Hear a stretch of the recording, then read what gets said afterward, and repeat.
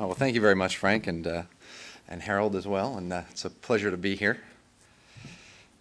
In uh, August 1875, after having lived at Bellevue Place Sanitarium for more than two months, placed there by her oldest son, Robert, declared insane by a Chicago jury, Mary Lincoln wrote to her friend Myra Bradwell, It does not appear that God is good to have placed me here.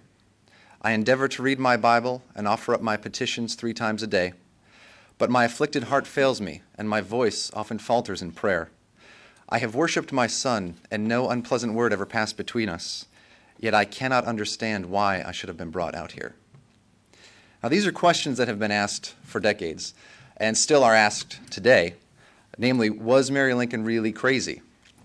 And just why did her son have her committed to an insane asylum?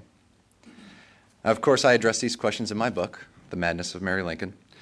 And uh, as Frank said, my book was begun uh, based on my discovery of uh, Mary's missing letters from the asylum. I found uh, 25 letters, 20 written by Mary, five by other people about Mary, written between the years 1872 and 1878.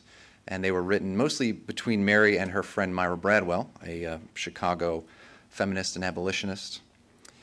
But you know, um, what was really exciting, of course, was that historians have been trying to find those letters for about 80 years or so, which uh, made me feel pretty good when I found them.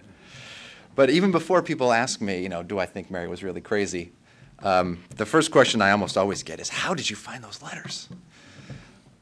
You know, I really don't feel like talking about it today, but um, no, I'm kidding. I'll, of course, I'll tell you. No, I will. I will get to that in a few minutes. A lot of scared faces for a minute.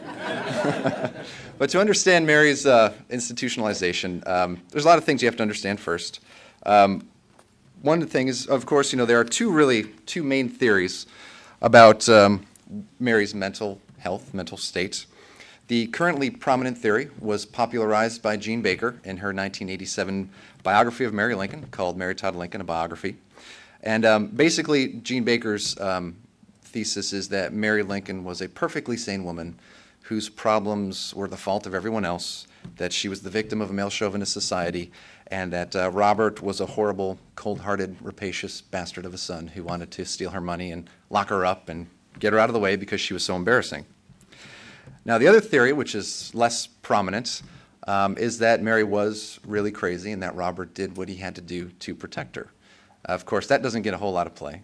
Uh, the closest you'll find to it is uh, probably the Insanity File, uh, which Frank mentioned by um, Mark E. Neely and R. Gerald, Mc, R. Gerald McMurtry, which came out in 1986. Interestingly, both of those books uh, utilized the same source, namely Robert Todd Lincoln's Personal Insanity File, which was a complete documentary record of uh, Robert having his mother institutionalized. And uh, despite the fact that both books use the same evidence, they came up with completely antithetical conclusions, which has led uh, one historian to wonder whether evidence even matters in matters of historical importance, which I think is a salient point. Of course, I used uh, the insanity file in my, my book. Um, of course, I used the lost letters that I found. I also found uh, a lot of other unknown, unpublished letters in my researches, uh, newspaper articles, magazine articles that have never been used, including some wonderful psychiatric evaluations of Mary, written by psychiatrists in psychiatric academic journals, which I was surprised that no one had ever cited before. And then, of course, I've had 20 years of subsequent research since those other two books to use. Um, but I also used um, psychiatric experts. I consulted with three experts because I'm not a doctor. And um, it was amazing. They really opened my eyes to a lot of aspects of, of Mary Lincoln and her mental illness, and even of Robert and why he did what he did. And the experts pointed out to me a lot of things that I did not see and a lot of things that I probably would not have seen without their assistance. And uh, I'm happy to say that my main expert actually wrote an essay of his professional opinion of Mary's mental illness based on my facts. That's in the appendix of my book, it's really interesting. I was very pleased that he did that for me. Now, Mary Lincoln's mental illness is not a subject confined simply to her which is another reason it's so fascinating. Of course, it deals with her and her family. Of course, you have to understand her relationship with her husband as a family, and then also um, dealing with Abraham Lincoln as president, their years in the White House. But it also includes aspects of the Civil War, of the Reconstruction period, the Gilded Age, legal, medical, and social history, gender issues, the history of psychiatry, and um, what I think is one of the most important things is you have to understand Robert Todd Lincoln, which I don't think anybody really does. Um, no historian, I've read the entire historiography of everything ever written about this, and no one has ever tried to figure out why Robert did what he did. They either just dismiss it or they judge him morally. Say, oh, what a horrible man, he had his mother committed. But they don't try to understand his motivations. And um, my book is as much about Robert as it is about Mary, uh, who he was and why he did what he did. And I think you, you have to understand that Robert was a quintessential Victorian era Gilded Age gentleman. He was full of the, the manly notions of duty and honor, and he believed very strongly in family privacy. Uh, he got a lot of that in his schooling in New England. He was at Harvard for four years, Phillips Exeter Academy for one year. And um, you know, he really believed, and throughout all of his letters, you can see that it was his duty to protect her. He was the last male Lincoln. He was the oldest son. Uh, he said many times to his aunt and other people, um, one particular quote, he said, I have done my duty as I best know, and Providence must take care of the rest. Now, of course, you also have to look at his mother's symptoms and what other people were telling Robert, advising him to do, because he didn't act alone. He consulted with seven medical experts, as well as three of his father's closest friends and advisors, David Davis, Leonard Swett, and John Todd Stuart, all of whom knew Mary Lincoln for more than 20 years. And John Todd Stuart was even Mary's cousin. And they all agreed that Mary was insane, which I will get to later. Now, my conclusion is that Mary Lincoln did have very serious mental illness. If you look at her early life, one can easily discern early manifestations of manic depressive illness, or what today we call bipolar disorder. She had symptoms of depression, delusions of persecution, of poverty, of various somatic ailments.